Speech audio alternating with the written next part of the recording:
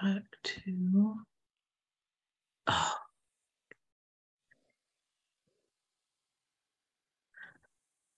Uh, I think I'm going to be hearing myself talking. Maybe. Maybe not. Can you hear? Can you hear me double? I cannot. Can you hear me double? Negative. I think we might have figured it out. You did it. Yay! Fantastic. Third time's the charm. well, welcome back again, Dr. Dave. It was so nice to see you again. and we're back with What If, which I am so excited about because I just uploaded this to Amazon yesterday. Um, so we're going to be doing a launch soon. And I'm really, really excited uh, to share this with you. So thank you for doing this with me and uh yeah it's so much fun to connect with you and uh work together so thank you so much for that so Awesome. Congratulations. thank you Yay. Yay. It's still Yeah. Lots of good things happening and uh it's another great year and lots of good things coming with this book that we were talking about this morning so Mhm. uh I'll keep you posted on those as well and uh yeah so lots of uh lots of good stuff so very exciting Mhm. So I think what I'll do again today is just ask, what is the message for today? So let's just take a nice deep breath in and out. And just focus our intent that we'll be given the message that uh, we need to hear today, however that is. All right. Ooh, what if today I raised my standards? Hmm, Fun. that is a very good question.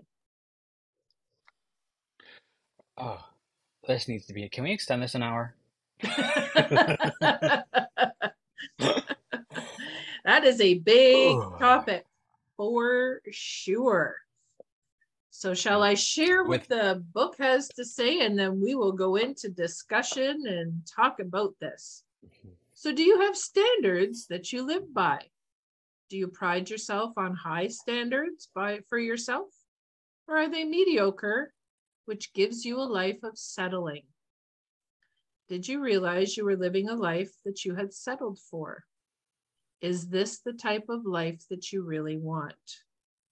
When you settle, it usually means that you live in a reactive world, reacting to the situations and events around you instead of consciously creating a life that you really want.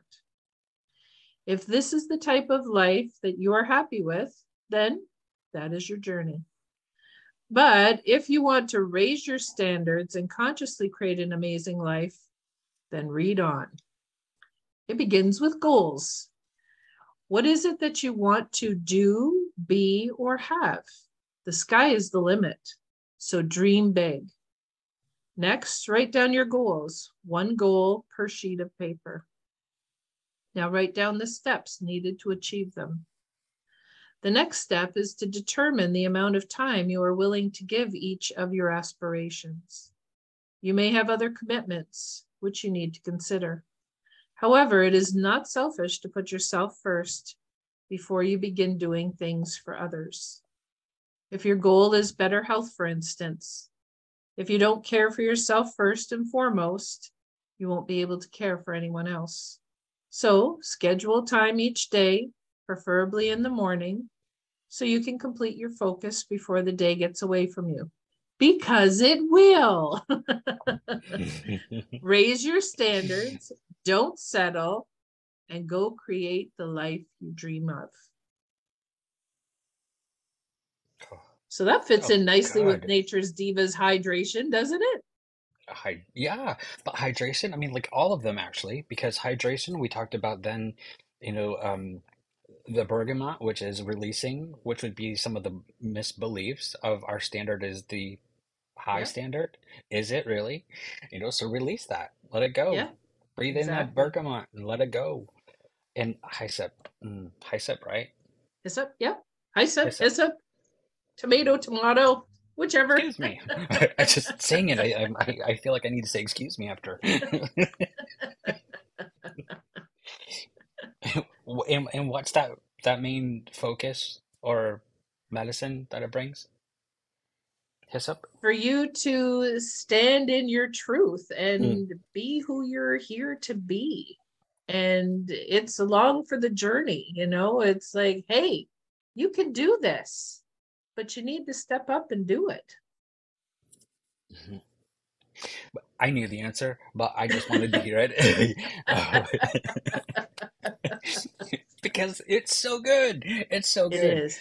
You know, I mean, that is like, well, this might be something, but that was the perfect recipe to start a Monday. Isn't I it mean, though? from, you know, basil, ber bergamot, and and hyssop. Excuse me. Um, I have to always do it. But, you know, but it, it's looking like let's look at this, okay, and and get yourself surrounded by the the right things that you need. So that hydration factor of making sure that we're full um, of what we need, you get to fill that in, and so hydration can be love, it can be water, it can be support, it can be all of those things. Are we well hydrated in, you know, those other elements as well? And and then Absolutely. as the the book is asking us to raise our vibration or raise our standard, well, then that lets us know like where we're at right now. It was set somehow for some reason, some good intention somewhere, but is it relevant now? And the next card tells us, "N- no, it's not. So how about we get to that? You know? Yeah, and let it go. And I've got a really cool story to share. Uh, when Yeah. I lived in my house, um, I had an apartment upstairs. So once my daughters had gone through and they lived there, and then they went and moved out onto their own, I moved upstairs and then had my main floor for my business. And um, I had therapy rooms and things like that. And so I love big windows. So I like lots of light. So I had put this little table. I made my office in the one room, but it also had like all my uh, supplies and it was like a store as well. So when I was uh, going through this, and it's like, you know, like, how's your office? Is it set up for for business? And I'm like, yeah, I've got an office, you know. So my table was like this big around. Now my table, my desk here is goes this way and it goes this way because I like to spread things out, you know. And uh, so I go down and I'm looking at it. I've got the smallest little corner. It is the darkest. And meanwhile, all my other office stuff is in the other room, which I don't like to sit in because it's too dark. But I had set everything up for me to receive customers, and it was during COVID. so it's like, um, how's this working for you, Brenda? And it's like, well, let's change this around. So I then took that room that used to be my living room, but now is I created my office where I could see out the window and it had everything I needed within reaching distance. And what a shift because I didn't recognize it until it's like, wow. And I had stuff on the floor and like nothing fit on this table, you know, other than the laptop. And then I got stacks and it just wasn't working. But just even that, to have that awareness that what's going on in your environment? What are you settling for? Instead of, you know what? No, this needs to change. I need a space. I need whatever that is and create it with the intention of this is what I require for what I am doing instead of, oh yeah, I'll just tuck myself into this corner where nobody goes. It's all dusty and whatnot with all the piles of stuff. And no, create the life you want, create the space that you require in order to do what you do. that makes you happy, that brings you joy. Mm-hmm. Oh, that's awesome. hmm So once you made that shift, what did you see change? Oh, it was huge change because I would always be discombobulated. It's like, okay, I got this going on and this going on and this going on, you know, and I was never able to focus on anything. So after that, like I had created a space where I could do videos. I didn't have to figure out, okay, move all this stuff to do a video. I had it all set up that way. And everything just flowed after that. It was so, so much nicer. So, and even in um, this office here, I used to be the other way. And something kept telling me, nope, flip your, flip everything around. So, hence, and this is not a pretend bookshelf. I will tell you that it's not pretend. I can take my books off of there. it drives me crazy because people like, I'm like, oh, I want that bookshelf. It's a whole wall of books. And they're like, oh no, it's just a picture. It's like, ugh.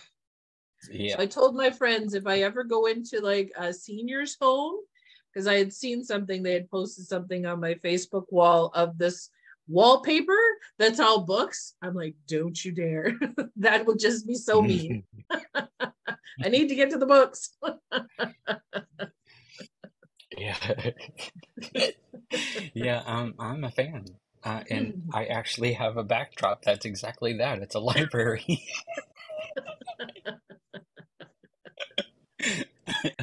I would much rather have the library, but this one, so much easier to clean.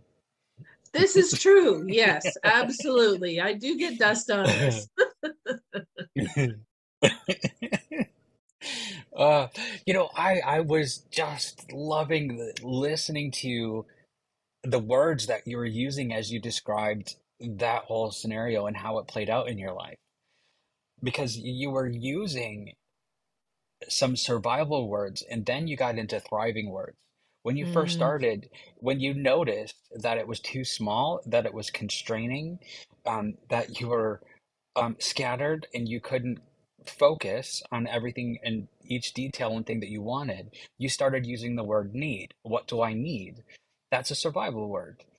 And mhm, so if I want to survive or I want to change and move forward, I have to create a change. So that's what that that survival part of that is. So using that word need. And then moving into once you've changed that and then it opening up, then you were using much more of the I was able to address many other things. I was able to find this wonderful flow. And I'm like, yeah, because the energy was flowing, but then because mhm, our, our environment will mimic what's happening to our internal as well. So as you opened you into that bigger space and open more possibilities, you did exactly what, you know, today's message is about, is you rose you you, you raised the standard for you of allowing yourself to take in more light, being able to have, you know, being more exposed to your outer world, and that's when it began to flow. It couldn't find the little tiny address of mm-hmm. you in the little tiny one bulb in the corner. but now you're like, ta-da! Yeah. and flowing. How beautiful is that? That's fantastic. And just to add to that, and taking up more space, because I find a lot of clients, they just they don't want to take up any space. It's like, oh, well, I'm just allowed to have this much space. And it's like, no, you are big. You have a big light. Shine that light and take up space because there's Mm, so much. Just shine your light as much as you can and take up that space because we are so much more than the energy around us. We are large. We're just like compacted into this little human being, but we can take up space. We are allowed to. We have, we're giving you permission to take up as much space as you want to be who you can be, because that's huge. It's important. Absolutely. Oh, so it is. And I would probably even invite us to ponder whether that's not really our truest mission here Mm, when we decided to take up a human vehicle of how much space are you willing and do you have the courage to take up and then how much light are you going to fill with that as well? Absolutely. and and and so when you allow your light then it's effortless. When you just turn the light on it just is. Nothing can be in that space. Nothing of a lower frequency can exist in that higher frequency of vibration. So once you open that heart space to allow and and be that full version of of shining that that love light then more and more things are attracted to that that are of its that are like itself. Uh, and the things that aren't they vibrate away. They go Mm, away because it just like that magnet you know it's pushed away if they're in that negative um, charge you know energetically.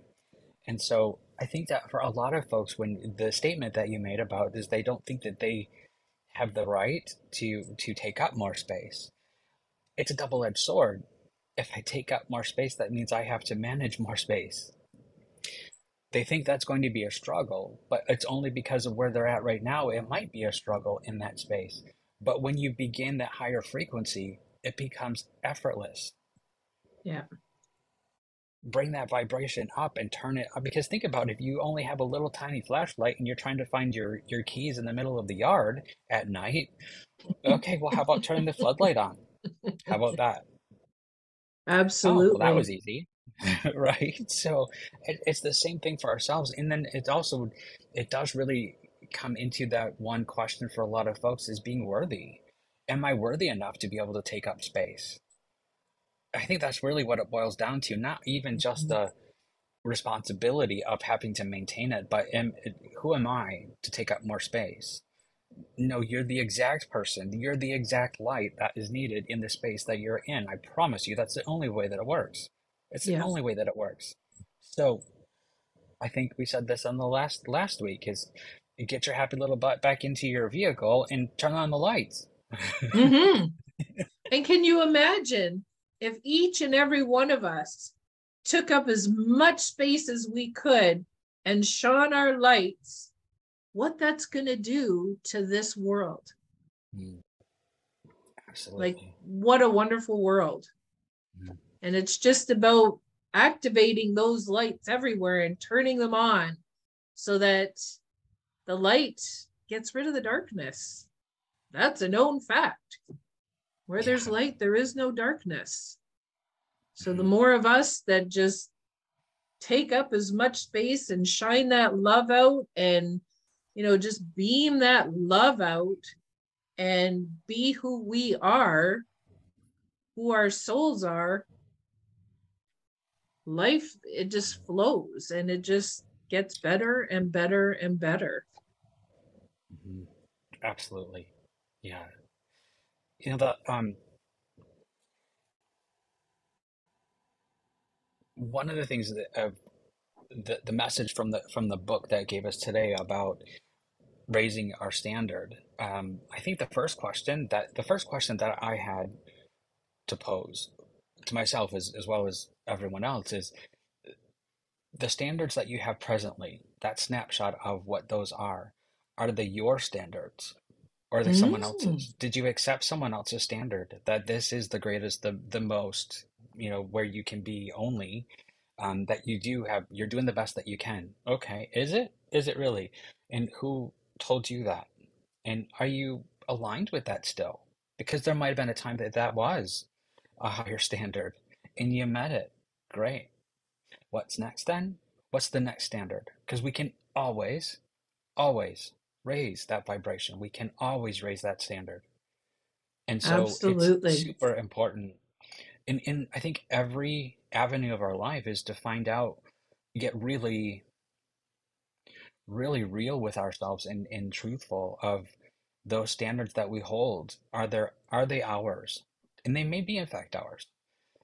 But it would be a shame to find out later on that it's not even our own standard that we've been uh, um, holding on to that has been keeping us from our potentials.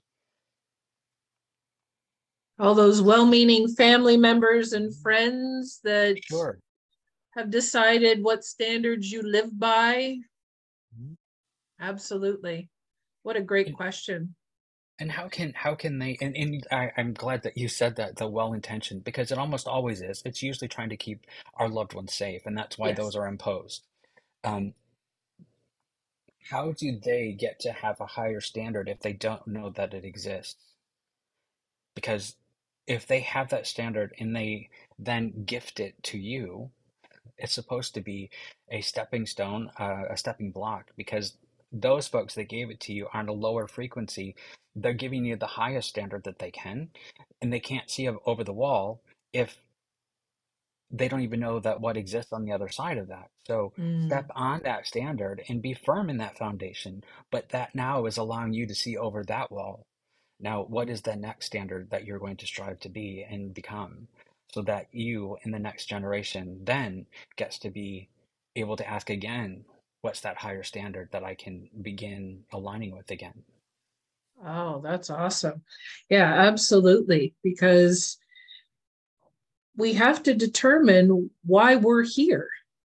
We're not living somebody else's life and so many of us were at some point. It's like well my parents want me to be this and grow up to be this and all the rest of that. But your parents came down here to do something.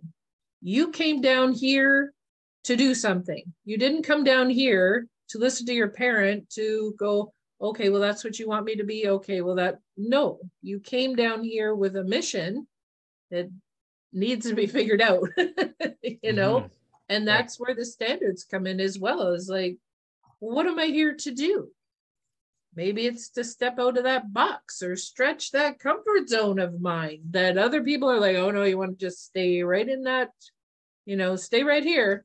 It's like nope there's other things. There's bigger and better things that i want to do. Yeah they're going to be scary but you know what?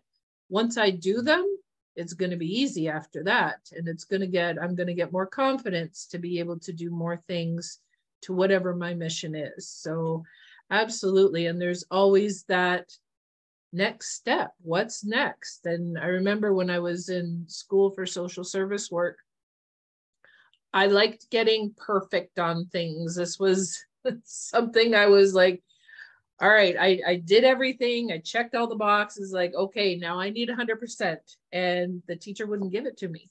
And i got rather upset. And i'm like i've done everything. She goes yeah you have. She goes however there's always room for improvement. So if i was to give you 100% she goes you'd stop there which i wouldn't but some people's mindset okay well i'm done.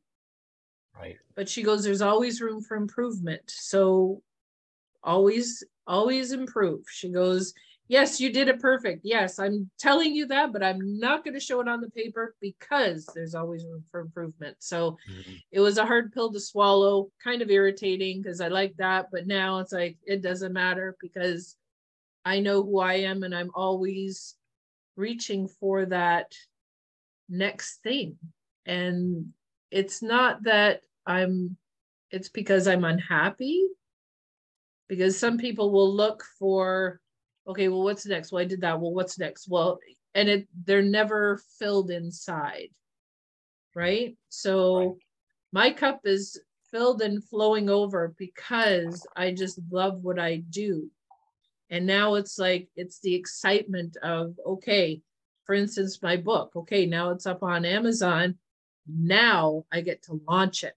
Now i get to do this. Now i get to create new products. So it's always raising that standard and how am i going to share this and you shared some wonderful ideas today on different ways i can share that so it's always looking okay well i could do this i could do this i can do so there's always options Mhm. so it's uh it's a wonderful thing Yeah. And I I I believe to the core of, of most human beings that they do always want to strive to be more. Um, and it isn't, it's, there, there is that place where a lot of folks recognize or believe that that is a negative, like you were talking about, but it's not, it, it's actually meant to be something a positive because then we can continue evolving. That's the only way. I mean, our work, it's in our DNA to evolve and adapt and get better at what it is hmm that we have and do. Because then the next step, we don't, it, evolution is that continuation. We're supposed to keep doing it better. If we don't, Yes. then we stop existing because we perfected it. So everybody's like, all right, we're out of this place. Done. Uh, no, still here. So that means work to be done. Absolutely. Yeah. And so raising your standards is really important. And I, you know, challenge everybody today. Like, think about where you are right now. What's your environment like? Do you have a peaceful environment? Or are you settling? Is there noise? Is there maybe somebody smokes in the house and that is affecting you? What are you settling for? What can you change? And what are you going to say, you know what? We're done here. Like, we need to raise our standard. We need to do things differently for everybody. Mhm. And really take a look at that today and see how your life can shift because it will when you start deciding to raise your standards. You know, um, real quick, with that invitation that you just gave to everyone of looking at those standards and what's in your life and, and everything else, one of the mistakes that I see a lot of folks make quite often when this process begins is they think that they need to change things because they're now having a higher standard. And so that means things outside have to change, meaning in their environment, in their work life, in their relationship, in you know all of those things. It's not our job to change them. It's our Mhm. job to do what we need to do to change that. So not necessarily somebody needs to move out as it is I need to change my standard of what I accept. Yes. This relationship I might not accept. This language I might not accept. This behavior I might not accept. Has zero to do with them, only Mhm. us and what we're allowing because we're teaching everyone around us how to treat us. So by accepting, we taught them it's acceptable. Absolutely. I'm, I'm glad you brought that up because that is so important. If you don't treat yourself well, then everybody else is going to treat you the same way. So raising those standards means that you have high standards for yourself and what you will accept and what you will not accept for your own health and well-being. So yes, I'm glad you brought that up. Yeah, like the perfect example is, um, you know, if someone's complaining about nobody has time for me to take care of things that I need, you know, in in my family, you know, and especially moms, I can see this happening a lot, or for the, you know, the full-time parents where they just don't have time for themselves, um, because their kids or their families not giving them time to help them or be with them to take care of them, you know, themselves. But you're you're teaching them that because you're not demanding the time for you to take care of you. So you've taught them that you're last because you I, I want to take care of the kids first. Okay, well the kids learn they come first, you come second. So when they have to make a choice, they're going to pick themselves before they pick you. You have now taught them that trait. They have Yeah. to unlearn that and they need to know that the the the rules of the game have now changed. So these are the things that I'm now going to choose to live and abide by. I have changed the standards of what I'm accepting and not, and these this is what that is. I hope that you're going to join me in this game, um, or this journey, however you want to word it. Um, and but this is this is the new rules, and so this is what I'm going to live by. And I really hope that you can show up and be that person with me because I'd like to have you on the journey.